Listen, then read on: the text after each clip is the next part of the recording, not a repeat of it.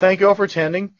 My name is Kevin Goff, and this is actually week two in a 13-part series on new features in SQL Server 2012. Uh, my name is Kevin Goff, and uh, I know that some of you attended uh, some of this from last week.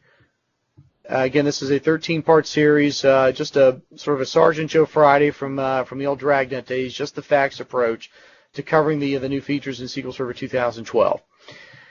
Now, the only thing that you need to write down here is the link to my site because the slide deck and the code examples I'm going to be going through are actually up there. So the only thing that you need to write down is uh, kevinsgoff.net, www.kevinsgoff.net. And if you go to the webcast area, the uh, the link to the slide deck as well as the download code is already out there. As a matter of fact, if I hop over to my desktop here,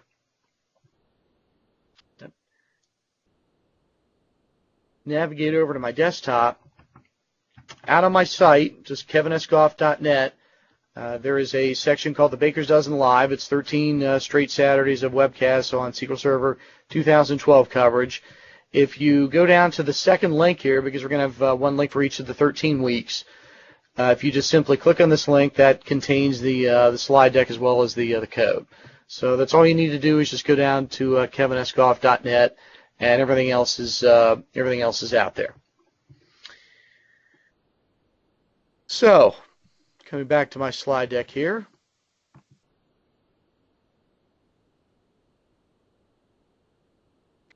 Now we are in week two, and this week we are going to take a look at the new language enhancements, the new Transact SQL enhancements in SQL Server 2012.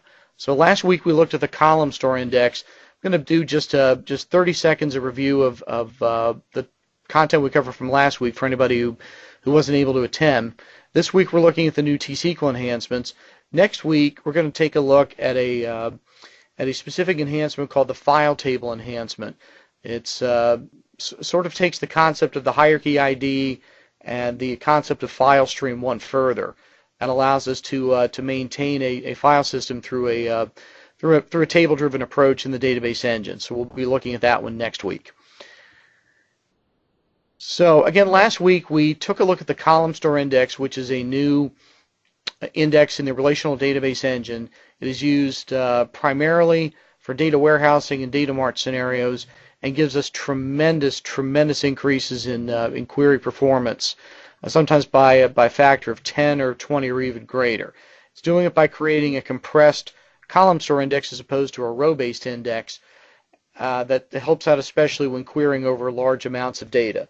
So uh, data warehouse scans, they read through a tremendous amount of data that would uh, maybe use hash, hash joins or, or hash matches for aggregations which previously could be very, very expensive uh, operations, are now significantly faster. Again, as much as 10 times faster. So feel free to pull down the slide deck and the examples and, uh, and read through this. And feel free to email me if you have any questions.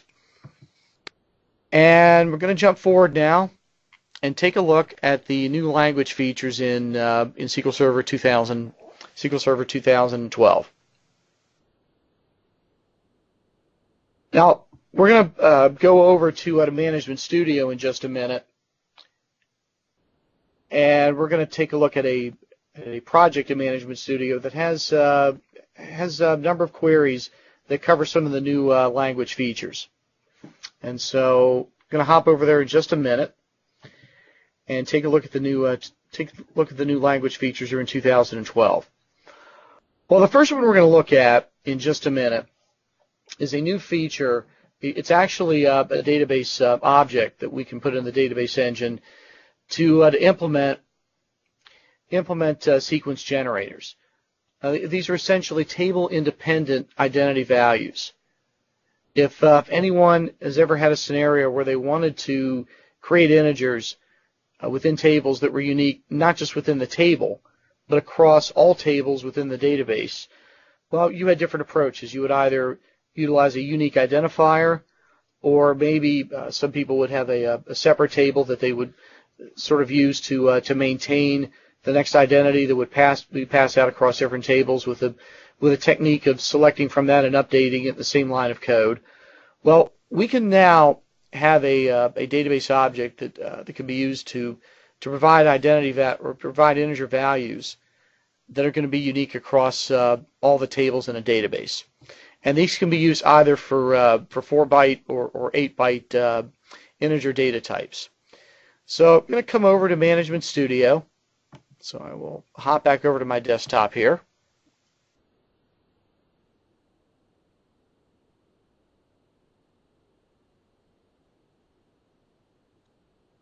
And in Management Studio, I'm going to take a look at the uh, at the query called sequence generators in this project.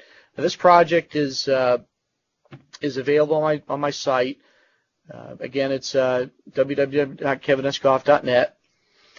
And I'm going to take a look at the query here for sequence generators. Well, first of all, I've got some uh, some tables and some sequence uh, generators that I previously had that I'm going to drop. So I've got some drop statements at the beginning because there's some items that I want to create. So I'm going to run this to drop some existing sequence objects that I've got. And I'm going to come down here and I'm going to create a new sequence. This can be a database object. I'm going to call it demo sequence. Now I'm going to give it a, uh, a seed value of 1 and an increment value of 1. So I'll say start uh, with 1 and increment by 1. I'll push that into the database. So I'll execute that. And there is a database object that, uh, that I'm going to take a look at over in Object Explorer in just a minute that has, uh, that has the sequence value. Well, when we want to get the next value, because that's, uh, that's why we create this, is, is to use it sort of as a, as a table independent, uh, as a table independent factory of, of integers to be passed out, I could say select next value for demo sequence. So it's select next value for and the name of the sequence object. So if I execute this, this simply gives me a value of 1. If I run again, it gives me a value of 2 and 3 and 4 and 5. So there could have been different threads that, uh, that executed that requested the next sequence value, and that's going to pass out a new number every time.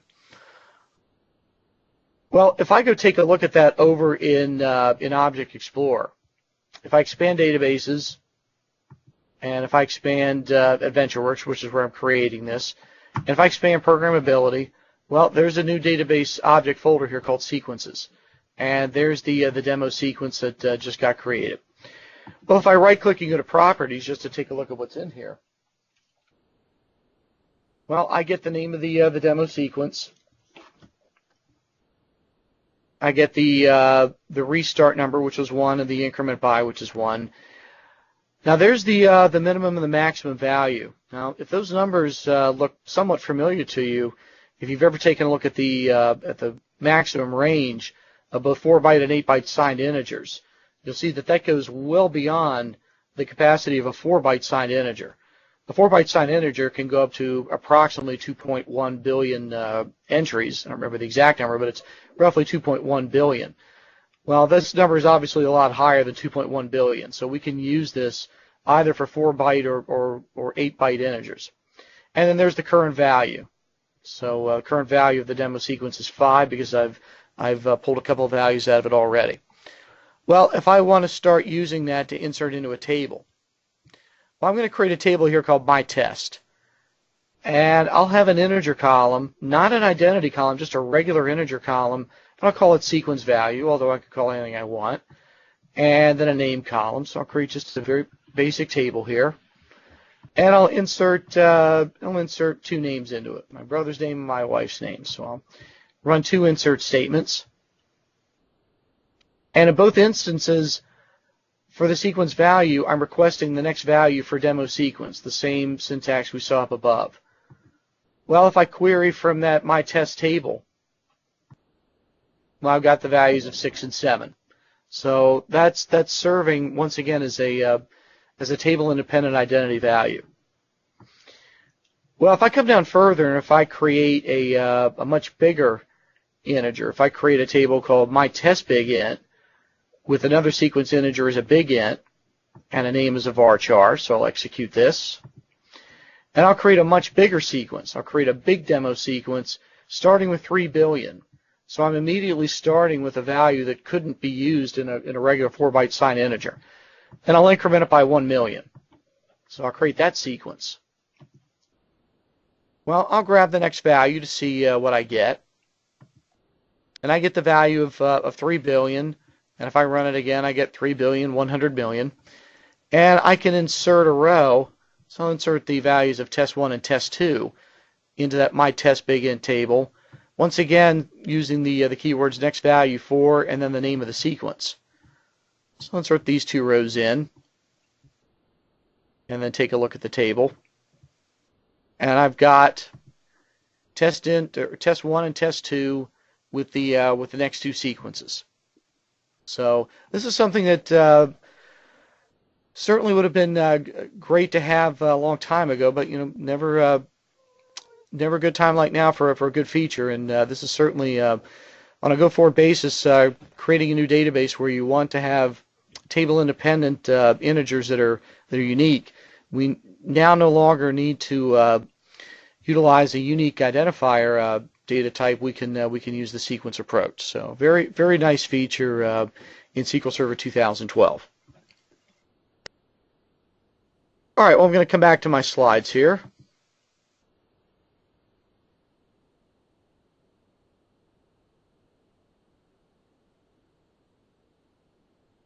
And next feature that we are going to take a look at and this is again another feature that uh, that people have been asking for for quite a while. It's a new paging construct that we can utilize when we want to uh, grab a, a, subset of rows within a result set based upon a range of row numbers. Uh, classic scenario here, one that I'm sure many people can identify with. Scenario where we have a web page uh, where we the result of a query might uh, bring back a thousand rows, but we're not going to show all thousand rows in a web page. Maybe we page 20 or 25 rows at a time. Well, back in SQL Server 2005, Microsoft implemented the row number function. And the row number function allowed us to, as the name implies, assign a unique row number based upon a uh, based upon an order by, and then we could uh, we could query against that. Now, since the row number doesn't get materialized until uh, after the after the select runs, we'd have to use a common table expression or a subquery to filter against it. So we would assign row numbers to those thousand rows, and then if uh, depending upon if someone uh, were navigating to page 5 or page 10 and we were showing 25 rows at a time, we'd manually calculate the offset of the of the of the range of rows that we'd want, and we'd say give us from that subquery or for that common table expression everything between row 251 and 275 or whatever the range would be. Well, that certainly works, but uh, Microsoft has uh, has now implemented that capability directly into the order by with two new keywords called offset and fetch. So what we can do is in the offset statement, we can define the offset of the number of rows that uh, that we want to read past. So if uh, if we're looking to show rows 101 through 125, well, we can offset past the first 100 rows to start at the, at the 121st row. And then we can indicate that we want to fetch 25 rows.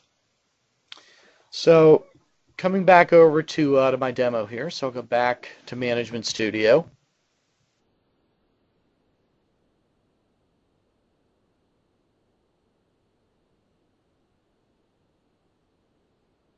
I will go to the next uh, query down here in the project, and that's uh, called offset fetch. Now, just as a uh, just as a simple example,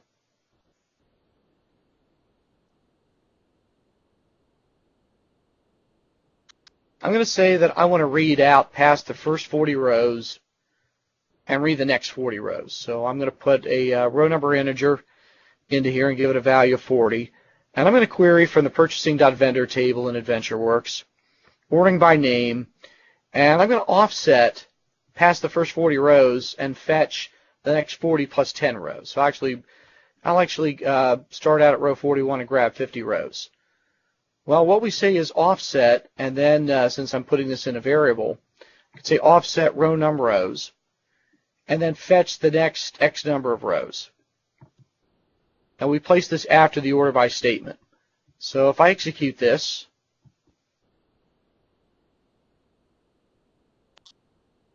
well, notice how I'm starting at uh, at Green Lake Bike. So I'm starting past the first uh, 40 rows. Green Lake Bike is actually the 41st row if we had actually displayed the row number. and I'm getting back 50 rows now. So I'm getting back the, the, the value in row num plus 10 rows. So essentially I've started at row 41 going back alphabetically to the letter A and I'm reading the next uh, reading the next 40 rows, or excuse me, the next 50 rows. Now, uh, someone uh, question just came back. Uh, question just came back on the uh, from the first topic. So uh, let me come back to the first topic here. Someone asked a question about the sequence generators. The question that came back was, uh, would, would next value consume the integer the way the way identity does, or or will a rollback make it available again? A, a rollback will not make it available again. So if I put this in a transaction and then I roll it back, I, I cannot use that value again. So it's uh, if, if I try to select the next value into into a table and I wind up rolling it back, well then I've, I've that that integer is uh, is going to be is, uh, is not going to be available again. It's going to move on to the next value. So just to just to demonstrate that very quickly here, I think I still have this table here. Oh, I'm sorry. Let me get, let me go up to the uh, to the smaller one. In my test, uh, the next one was seven, and so if I take a look at that demo sequence right now, if I go to the properties, well, the current value is seven. Well, if I start a transaction, so I'll just simply say begin transaction, and I'll insert my name into here. Well, probably would have been good to have this as part of the part of the demo code. And I'll put my name in, but then I'll roll it back. So I'll start the transaction. I'll insert the uh, the next value for the demo sequence and put my name in, and then roll it back. So right now, the next value in that demo sequence is 7. If I execute this, well, that rolls it back. So in my test, still just have the two rows. But now if I go take a look at the next value in the demo sequence,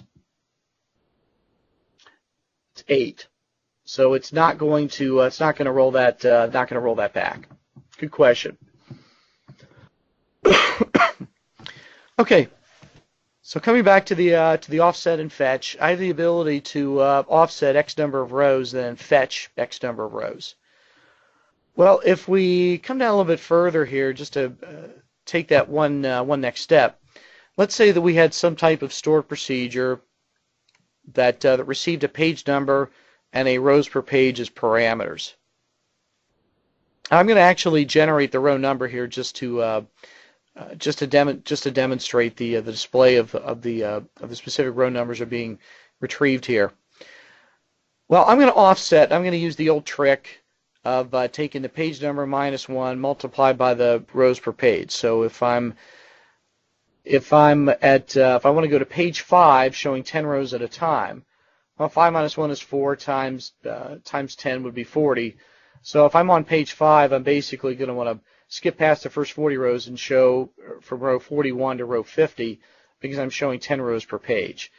So I can place that calculation into the offset, determine how many rows to uh, to skip, and then uh, how many rows I want to fetch next. So I'll execute this, and I get rows 41 to 50. And if I say I want page number 6, well, that's obviously going to be uh, rows 51 to 60. I'll re-execute this.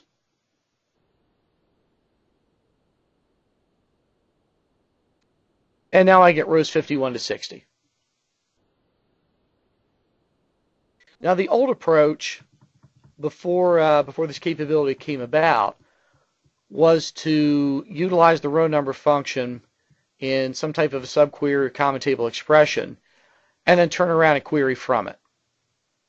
So I could create some subquery, some common table expression that would materialize that row number because we can't use row number in a where clause. We can't generate the row number at the same time uh, in the where clause specify which ones we want row number is a is a windowing function. It's it's it's setting a value by reading over a set of rows, thus the name, and therefore that's uh, beyond what the where clause can handle.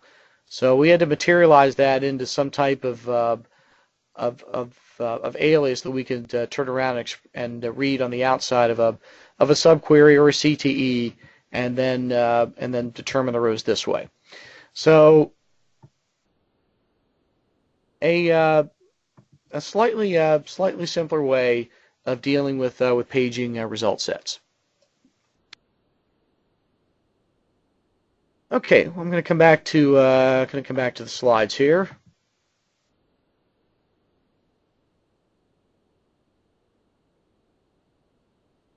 And next thing we're going to look at is actually a uh, a set of uh, of new of new language features that uh, that fall under the category of, uh, of, of window functions. Now, in SQL Server 2005 you had a couple of uh, window functions that uh, that were added to the language. You had you had row number and you had rank and you had dense rank, and that allowed us to uh, to implement ranking of, uh, of, of rows and result sets. So if we wanted to rank the top 10 salespeople, or maybe the top 10 salespeople within each part of the country, and then utilize some logic for how to deal with ties and how to deal with the with the gaps that would result after ties well, the ranking functions provided us uh, some capability to do that. Well, in SQL Server 2012, Microsoft uh, really, uh, really uh, went way beyond the ranking functions and implemented some additional analytic functions that uh, would be very helpful if we want to take a set of rows and, and come up with some calculations like like a median average or a a percentile rank or or calculating cumulative distance now, not not every application will need to do that, but certainly uh, anything that's that's trying to get some statistics over a uh, set of observations or, or, or just values across rows, well, these functions are really going to come in handy. And I know from my own personal experience as a developer and, and also as an instructor and an analyst as well, that many times I want to get some of these statistics. Well, in years past, you'd either have to write your own functions or you'd have to throw the data over into Excel or into some other analytic tool. Well, there are now there are now these features uh, that are built into the uh, that are built into the language. Now, uh, by the way, I've had a couple of people uh, I've had a couple of people who have uh, said that they couldn't hit my site. I'm, I'm going to do just a quick check here to make sure that uh, my site is still available here. I'm just going to come back to the browser and once again just go to kevinsgoff.net. And uh, my site is uh, is coming up. Um, if, uh, if other people can check it, there's one person saying that uh, they're not able to hit my site. Not sure. Uh, uh, not sure why. if other people say they're not able to hit, I'll check it out later. But I'm able to hit my site. It's just kevinsgoff.net. So if anybody else can check that out and let me know if they're able to, to hit the site. Okay, so we're going to take a look at a uh, at a set of queries that uh, that uh, that make use of the of the over clause to come up with some scalar value over a set of rows. Now there, there's so many here that I'm going to actually show several examples. Well, let me come back to come back to my demo code here. So I will go back to Management Studio.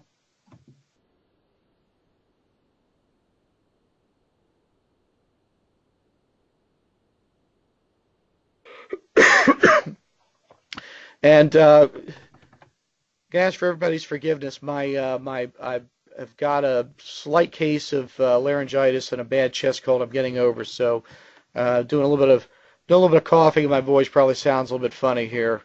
Uh, so hopefully everybody can hear me okay. But uh, allergies in that time of the season. All right, well, I'm going to load a, uh, a query here in Management Studio. Two new functions, actually two of many new functions, called lag and lead. And this is one of these where I'm going to take a look at the result set and sort of work backwards. So I'm going to run this query.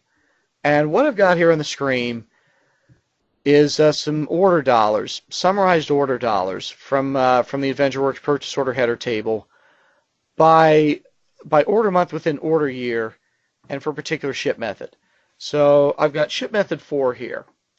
And I've got uh, order dollars for January, February, and March of 2006. And then for uh, for ship method 5, the same thing. Some summarized order dollars for uh, for the first 3 months of 2006. Well, obviously everything out to the sum of total due, you know, nothing uh, nothing earth-shattering here for the first couple of columns. But then we got two columns out to the right where I'm displaying the dollars the prior month as well as the dollars for the next month. So here in February, we had uh, what 80, uh, 81,000 and some uh, dollars in, in orders for this particular ship method. Well, in the prior month it was 3384, which was the sales back in uh, in January, and in the next month it's uh, what roughly 100,000 and some. Well, if I go back to January, there was there were no sales for the last month because this is the first month in the result set, so I've got zero. And the dollars next month is what we had in uh, in February, and then in uh, March, sales for the prior month is what we had in February, and the sales next month is zero because I'm intentionally only showing this for a couple of months. And then the same concept down here for uh, for ship method five.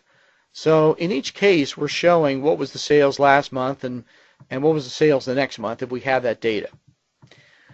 Well, in years past, this was certainly doable, but you'd need to write some type of a subquery or common table expression that would go out based upon whatever the current order month and order year would happen to be. Run another subquery and vary that uh, that month by one, going going chronologically forward or backward. So you'd have to implement a subquery of some type. Well, in many cases, that's a theme with uh, with these window functions that come up with a with a scalar value over a set of rows. They give us the ability to put it right here in the select without necessarily having to uh, to resort to a subquery. Well, in this case, I've got two new functions called lag and lead. Now, if you have worked with OLAP databases and if you've written MDX code, or if you've worked with uh, with other analytic tools, you probably are familiar with the lag and lead function. Well, let's take a look at the syntax here. Well, for the dollars last month, what I can do is I can lag the sum of total due. And then I specify how many, uh, in this case, how many rows I want to go back. Now, go back based upon what? Well, that's based upon the order by and the partition, which I'll get to in a second. So I essentially want to go back one row. And the zero indicates what we return if we otherwise get a null. If I don't provide that value, then I'm going to get a null for the dollars last month. So this is just simply a way to return something other than null. Well, in this case, I want to do it based upon the order month and the order year. I want, I want to lag one month within year. So I put the uh, order by statement in parentheses, and it's order by year, order year, and order month. And because I want to do this within the uh, the ship method ID, so when I'm going back one month, it's within the ship method ID. I reference that in the partition statement. What, so one of the great things about these windowing functions is, is that as Microsoft continues to add more of them, we utilize very common syntax of what we've seen before with the ranking functions. Because the ranking functions do the same thing. We rank over an ordered set of rows optionally by a partition if we want to uh, to break out the ranking by, by some other entity. Well, then we have lead, and lead is going to do the opposite. It's going to go out one uh, one month within year and also within the ship method ID. Now, some people ask, can you put in a negative value for lag and lead? And the answer is no. You can't turn a lag into a lead by putting in a negative value. Negative values are not permitted for that for that second parameter. It has to be a positive value. So if uh, if you've written reports or or if you've needed to write queries against uh, relational tables where you need to provide this kind of a, kind of a result set where we want to show for any one row what we had in, in the prior month, quarter, week ending date, whatever the time period happens to be, lag and lead allow us to uh, to do that. So um, a nice new analytic feature. Now, there are a lot more than just lag and lead. I have this here as a separate uh, have this here as a separate query, but there are other ones that are uh, that are available. So if we go forward to the next uh, to the next query in my project here, if we go forward to other analytic window functions, in that uh, in that PowerPoint uh, slide deck, I had a result set of some test scores, which is actually something that I deal with uh, pretty regularly as uh, as an instructor. You know, I, I, I, deal with test scores, and I, I like to take a look at uh, at averages over time, and, and I like to take a look at uh, at at uh, any uh, impact of uh, of outliers of, of test scores or maybe you know that, that deviate uh, wildly from the uh, from the normal average. Well, in T-SQL, these many of these functions are not available, and so we either have to write that code ourselves or we need to go throw the data over in Excel or some other analytic tool. Well, Microsoft has added a number of new analytic capabilities. Well, I've got a uh, I've got a table here that I've created of test scores, and I'm not going to go through all the code that generates this, but basically I'm creating randomly 18 test scores between 65 and 100, where I'm randomly coming up with a uh, with a score, and then I'm going to create two test scores uh, between 30 and 40, just to have a few outliers here. And then at the bottom, I've got a select statement with a number of new analytic functions. Now, once again, this is one where I'm going to uh, generate the result set and work backwards. So I will execute this.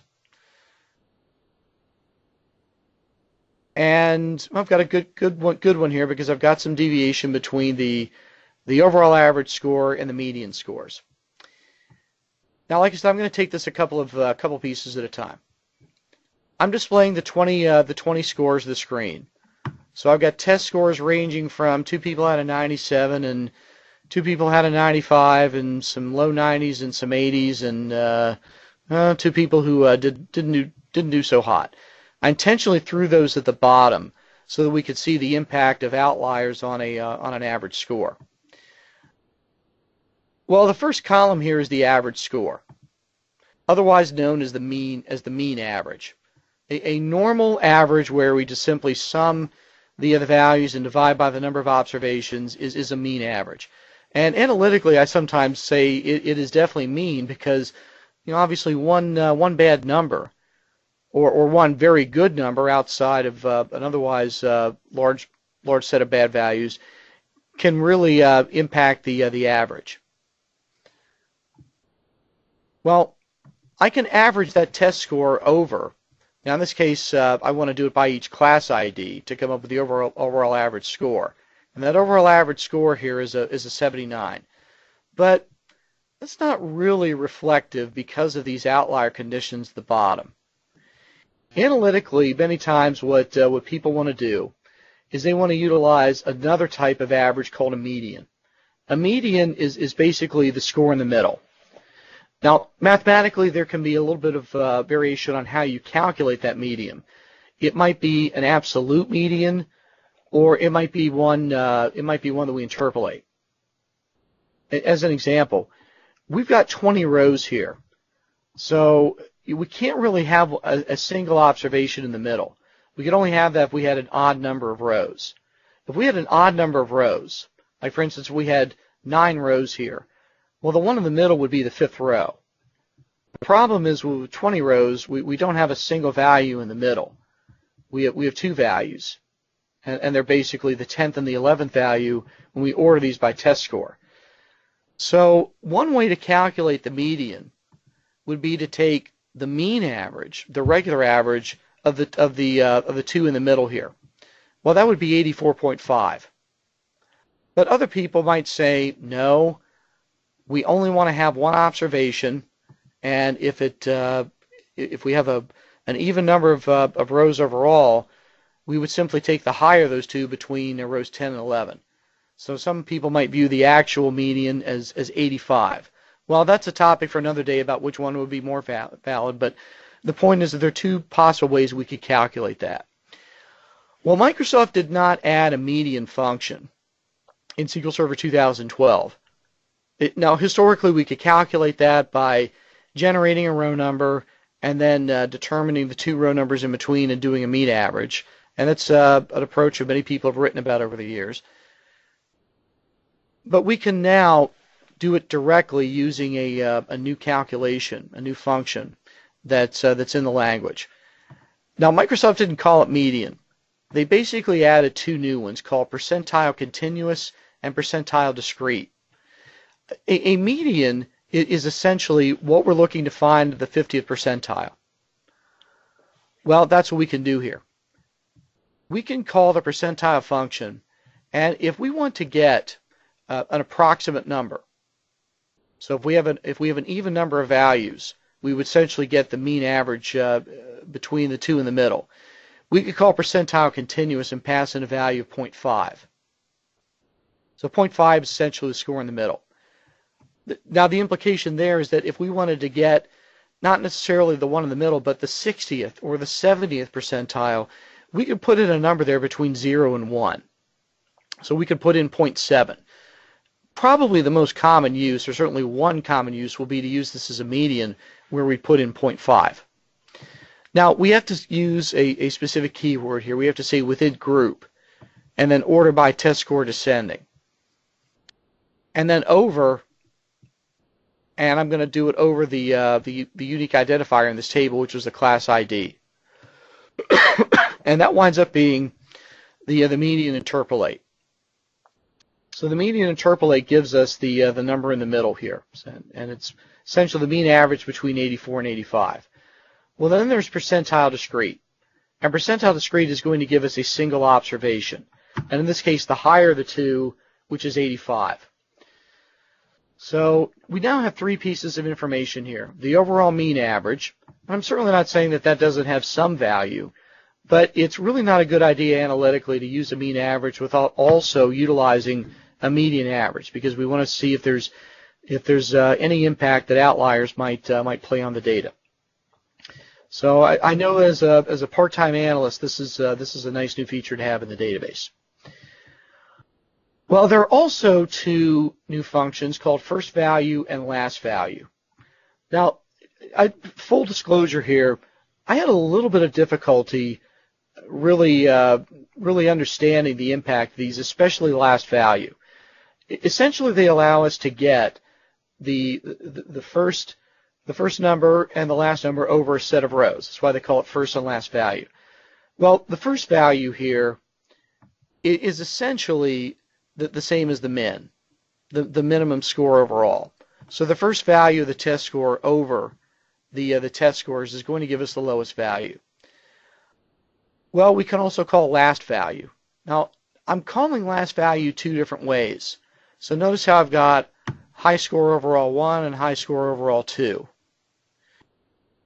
Well, maybe as we read through the rows, we want to calculate what was the highest score at that point.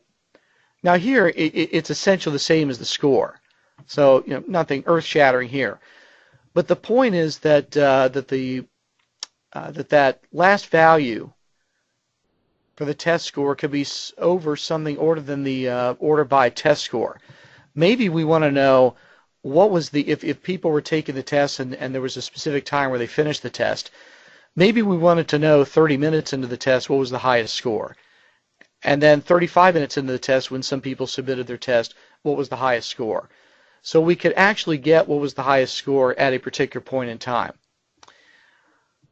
So that one is, is once again going to let us uh, get whatever was the last uh, value at that point in time.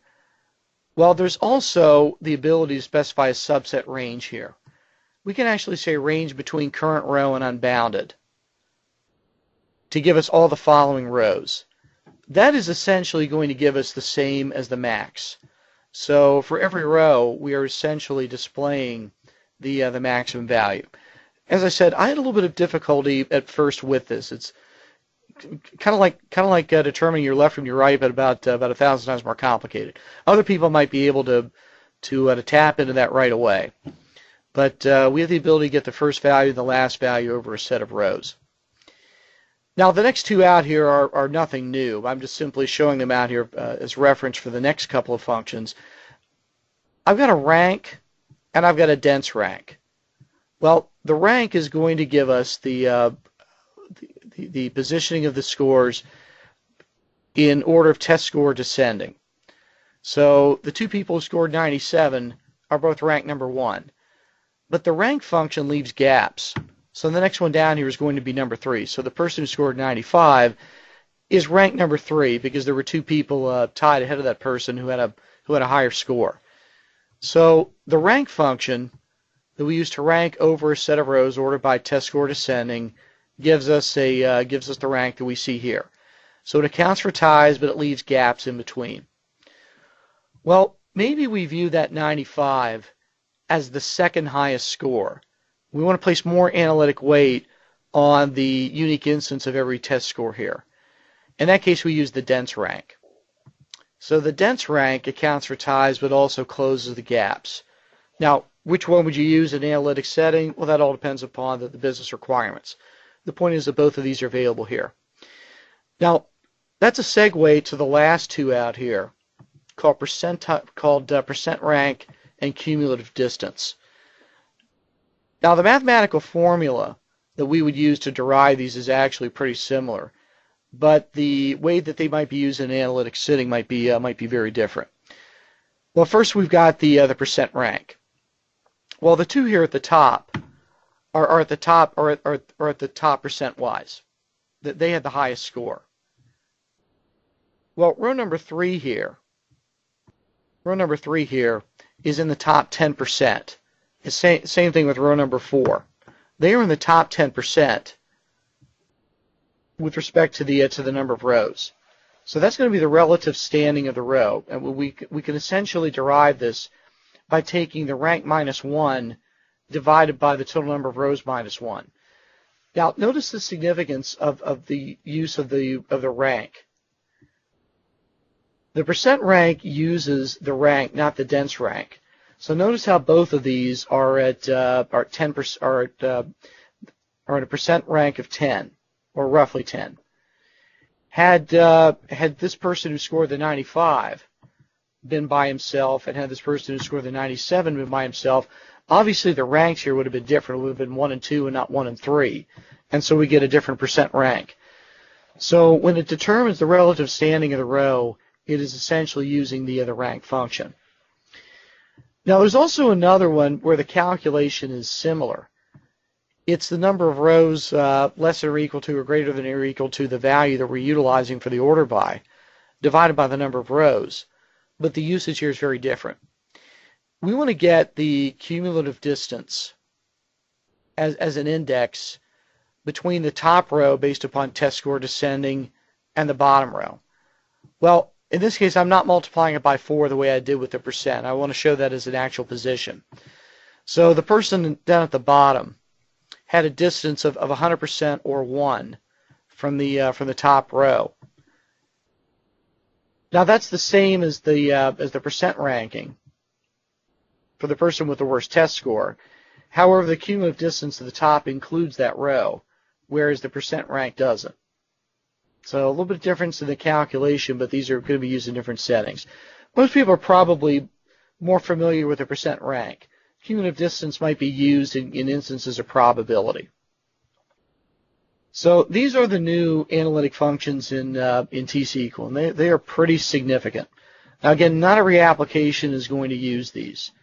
It, it might be that data is fed into another analytic database where these might be utilized, but more and more there are scenarios where people have relational databases and they want to implement analytic capabilities, but there are no other analytic tools are being used, or we simply need to get these statistics in a directly out of a relational database. So Microsoft has added a number of these, and they are uh, they're pretty significant. I know myself, I'm definitely happy to see the uh, the two the uh, the function for the uh, for the median implemented through the percentile continuous and the percentile discrete. So some some pretty nice capabilities there.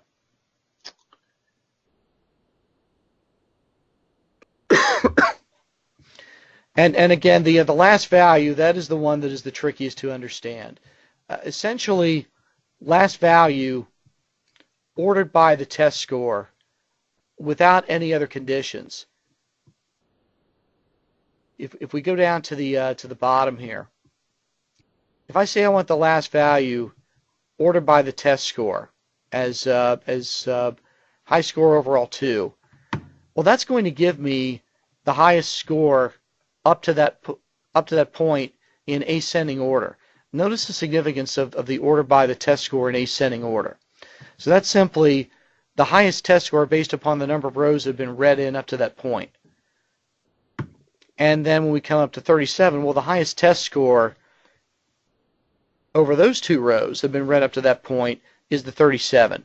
Again, that, that's the same as, uh, as the test score. But the significance here is that we might want to order by the, the time that uh, the test was submitted. Now, if we want to know for every row, what was the what was the highest test score over all the rows? Well, here we can put in a range between whatever the current row happens to be and all of the following rows unbounded. So th th this is a little bit of a culture shock here to see this for the first time. But essentially, this allows us to either give us the uh, the last value just within the number of rows been read up to that point, ordered by test score, or for all of the rows following.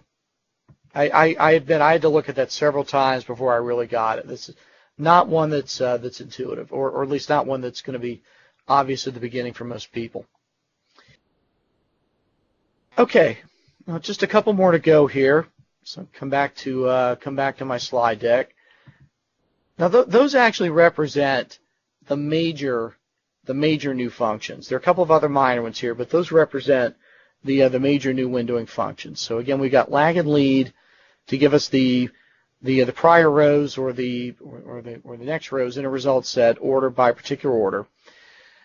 We now no longer need to uh, to utilize a separate subquery or common table expression to to derive those and vary them by one or however many we want to lag or lead. We've got first value and last value to get the, as the name applies, the first and last value over a set of rows and optionally specifying a range. We've got percent rank and cumulative distance, and then we've got a median function that's available through percentile continuous and percentile discrete. Well, last page on here, some smaller features, but they still have some value. Now, first of all, there is one, and I just recently discovered this one. You know, I've I've been working with 2012 from the very beginning, but uh, of, the, of the first CTP that became available. But I just discovered this first one actually just the other day. I don't have an example for it yet. But uh, if you're running uh, stored procedures and you'd like to uh, get uh, a result set back that describes the first or maybe subsequent result sets, there's a there's a system stored procedure called SP describe first result set that uh, that determine that is going to bring back the result set or going to bring back the structure of the result set. Well, here's the significance of that. There might be times where we would like to change the structure of a result set, either the column names or maybe the data type. Maybe we're working with a legacy store procedure and we like to change something. Well, let me come back to my desktop here.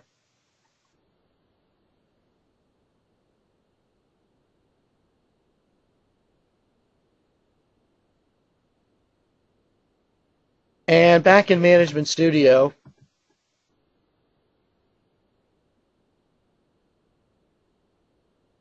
I'm going to go to, uh, it's actually query 4, it's execute with results. Now there, there have been times where I definitely could have used this one in the past. Let's say that we have a stored procedure, a very simple one called get vendors. And it simply brings back a couple of columns from the vendor table. So I'll push this procedure into the database. No, nothing uh, significant about it. Well, let's say that I want to run that procedure, but for whatever reason, I need to bring back that column for credit rating with a different name. So I want to bring it back as credit rating 2. Now, in reality, maybe the store procedure brings it back as credit rating 2, and we want to call it credit rating. But either way, we want to change the uh, the name that's uh, that's coming back. Well, what we can do in that instance is we can call the store procedure, and at the end we can specify the keyword with result sets. Now, if you ever use grouping sets in SQL Server 2008. A very nice new feature in 2008. And I definitely recommend checking it out. As a, it is an often overlooked feature that uh, it's Particularly handy if you want to get uh, multiple sets of, of, of group by statements, group by results into a, into a single result set. Well, in the same way that we have grouping sets, we also have with result sets. And what I can do with that is I can, in parentheses, I can redefine the column names and even the data types that are coming back. Well, that's assuming that uh, that it will cast cleanly to a different data type. So, for instance, that credit rating in uh, in SQL Server is it's either an integer or maybe a tiny int. Maybe I need to bring it back as a varchar 5. I can run that procedure and I can redefine the result sets and provide an alternate uh, definition here. So if I execute that, that brings back the result sets from the procedure, but now credit rating is called credit rating 2. And now it's it, it's not obvious here, but it's actually coming back as a varchar 5. So once again, if you've got a legacy procedure that uh, that brings back some strange column names, you'd like to redefine them. You can do so with uh, with the with the with result sets uh, statement after the uh, the execute the procedure. And the implication of the word sets is that if the store procedure we're bringing back two or three result sets, we can actually specify multiple sets here and just separate them with a comma. So we have an outer set of parentheses here and then an inner set for each uh, result set, indicating that we could put multiples in here. All right, well, a couple of other new functions that are available, and uh, I'm going to go through these kind of quickly because they're, first of all, they're very, very short. First of all, there is a there's a new function in T-SQL called concatenate. Now, there's nothing that you couldn't do before here, but let's say that we've got three strings and one of them is a null. Well, by default in T-SQL, if you try to uh, say column 1 plus column 2 plus column 3, and column 2 happen to be a null, well, you get a null. Now, there is a setting in SQL Server when you uh, when you concatenate strings that have null values, there is a setting to change that, but but there is also another way to do it uh, in the language. There's a new function called concat. What we can do is pass it a variable number of strings, and even if one of them is a null, it will still treat it. It will not uh, bring back the entire thing as a null. So if I have two columns here, and, and or three columns, and one of them in the middle is a null, that won't keep it from generating the value. Now, you still might have to implement the uh, the trick of knowing when to throw the space in. So some people might look at this and say, well, yeah, but I've been doing an immediate if or an is null or a case statement, and I've been I've been dealing with the spaces and evaluating it myself, and and that's certainly true. Nothing that we couldn't do before, but uh, just a different way to do it. Now, some other functions that uh, are available that again people have uh, done over the years there's the capability to calculate an end of month. There's a new function called EO month, one that's been available in, in Excel and in other databases. Well, if I want to take today's date, today is March the 30th.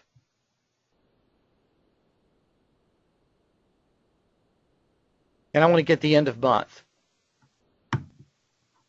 Well, that's going to give us March the 31st. So I can pass in any date and have it uh, have it return the uh, the last day of that month. So if I had actually put in February the 28th of, of this year, would give me February 29th, and this year is a leap year. Now there's also the ability to uh, to build a date from the individual date parts.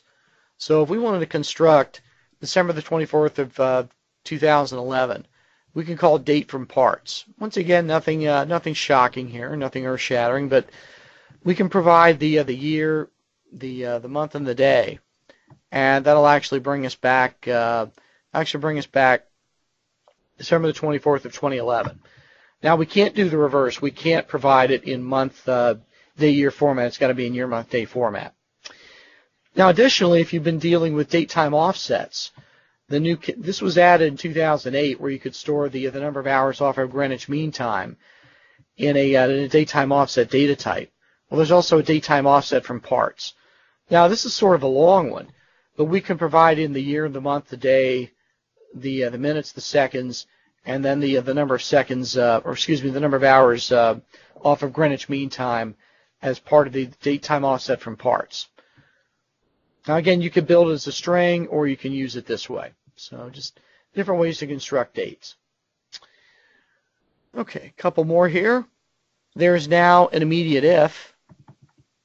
Finally, a lot of people look at this and they, and when I presented this at user groups, uh, some people will applaud and other people will, will sort of say, well, you know, finally we have it in here. But you know, once again, never, never a good time like now for a, for a good feature.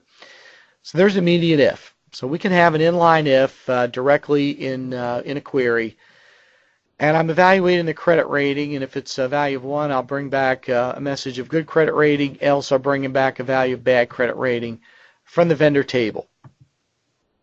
So that brings back every vendor, and its name is either good credit rating or bad credit rating. So the first parameter the immediate if is just the uh, condition that we're asserting. The second parameter is what we uh, return if that first parameter is true on a row-by-row basis.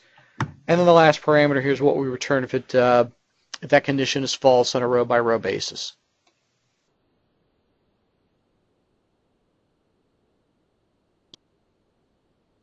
Okay, and finishing this up here, three more short ones.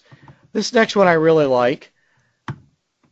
If you've ever had an instance where you wanted to parse something before necessarily trying to get it into another data type, there is a try convert and a try parse. So let's uh, let's try to convert February the 29th of 2012 as a date. So we're going to take the normal syntax for convert and we're going to try to do it.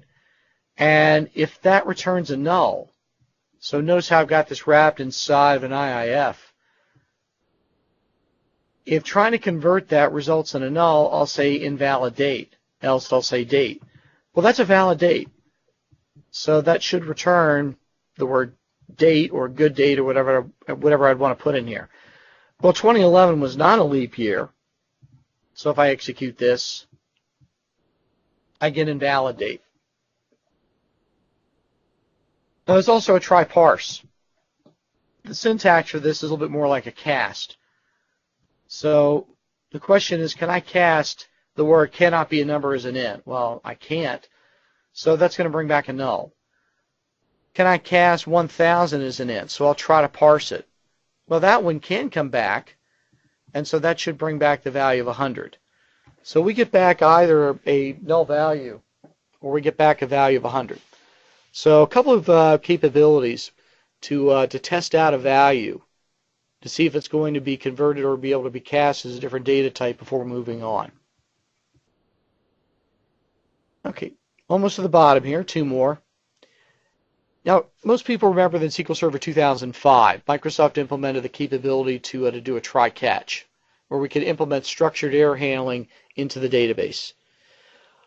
Well, there is also the ability inside of a try-catch to, instead of raising an error, which was a common technique, a very common technique in, a, in, in the catch block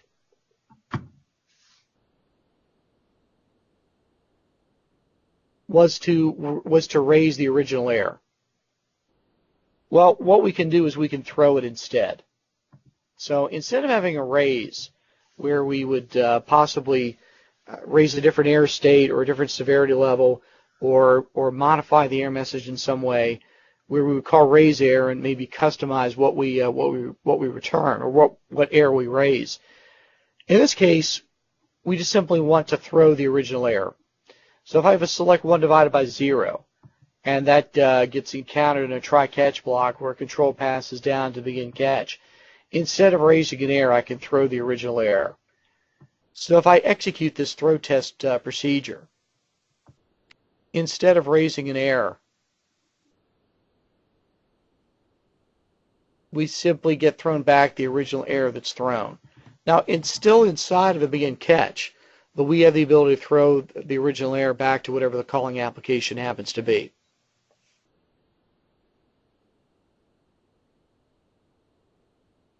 And then finally, last one here. For anyone who has uh, struggled with trying to render a, uh, a money or some type of currency column as currency, actually bring it back with a dollar sign, and even for uh, for different uh, for different regions of the world. Well, there is now a format function where we can pass in the uh, the actual uh, style or the actual reference to the region. So if I take a, money column, $1,412, and I execute this, well, I get back the $1,412 expressed in terms of U.S. currency, expressed in terms of, uh, of whatever the Italian currency is, which I believe might be the uh, might be the euro. I'm not not up on that these days. I should be. The uh, the symbol for France, the uh, the Saudi rial, the symbol for the Saudi rial, and the symbol for the Japanese yen. So if you ever want to format uh, a dollar figure using the dollar sign for whatever country you're dealing with, we could call format. We can format the currency as whatever the uh, the style is going to be. And Books Online and the online help list the uh, the different uh, the different countries that are supported here. So a number of smaller ones. The the big ones in here are the sequence generator, the offset fetch capability, the the lag and lead, and the analytic functions. The other ones uh, small, but but certainly uh, useful. So we have actually come to the end here. So let me come back uh, come back to my slide deck. And again, you can go coming back to uh, to my bio page here. You can go to my site and pull down the slide deck as well as the uh, as well as the demo code. It's just uh, kevinsgoff.net, and it's in the Microsoft Webcast area. I think I have the, the page set up where it actually is the first page that shows. And also, uh, I, as I mentioned uh, before, I train for a company called SetFocus. I'm actually the SQL Server Business Intelligence Practice Manager there. We offer training in SQL Server and .NET and SharePoint and Business Intelligence. We have a free training site with 100 hours of free training on on uh, on our curriculum. Actually, some of uh, the 100 hours is actually recorded content from our curriculum that we put out in this free training site called freetraining.setfocus.com. And I've also got a reference to this in, this in, the slide deck as well as up on my site, so you know, feel free to, uh, to check that out. Now, uh, one or two questions have come through. I'll uh, I'll reply to them uh, I'll reply to them on my uh, on my blog. So uh, want to thank uh, want to thank everybody for coming. Apologize for the for the audio issue. We'll get that resolved next week. Now next week, same time, same station. We'll be talking about the new file table enhancement in SQL Server 2012. This is sort of a an interesting combination of some of the things we can do with the hierarchy ID and what we could do with the file stream if we have some scenario where we have a maybe a, a hierarchical folder structure of documents and we want to manage it through a table-driven approach through uh, through insert, uh, update, and delete statements back in SQL Server, we actually can. The file table allows us to uh, to synchronize a, a, document structure, among other things, from the relational database. Actually, actually a great feature as, uh, as we're going to see next week. So thank you all for uh, thank you all for coming. Thank you for attending. And uh, there are a few questions that came through that I'll answer on my blog. Uh, and so feel free to drop me an email if you have any other questions. My email address is, is also on the on the slide deck. It's just uh, kgoff at kevinsgoff.net. So thank you all for coming, and uh, have a have a good day and a good weekend. And uh, same see you here next Friday, same time, same station. So, so long, and have a good weekend, everybody.